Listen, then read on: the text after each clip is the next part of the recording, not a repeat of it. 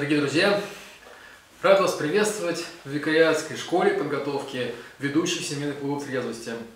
Это уникальный образовательный проект, который действует на базе храма Всех Святых на Соколе, который направлен на то, чтобы создать необходимых специалистов в области работы в семейных клубах трезвости.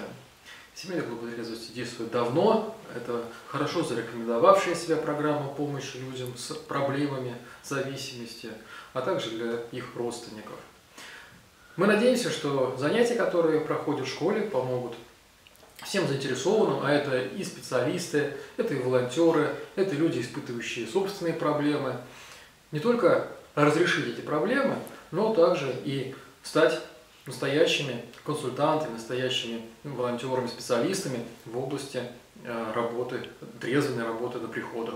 Школа работников семейных клубов трезвости готовит людей, помогающих ближнему своему наладить семейную жизнь. В каких семьях? В которых она уже разладилась. А как она разладилась? А там люди пристрастились к каким-то психоактивным веществам или к какой-то психоактивной деятельности.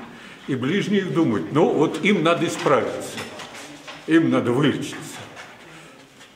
А нет, на самом деле исправиться нужно всей семье, нужно исправить отношения в семье. А как это сделать? Вот этому и учат в викариатской школе работников семейных клубов трезвости.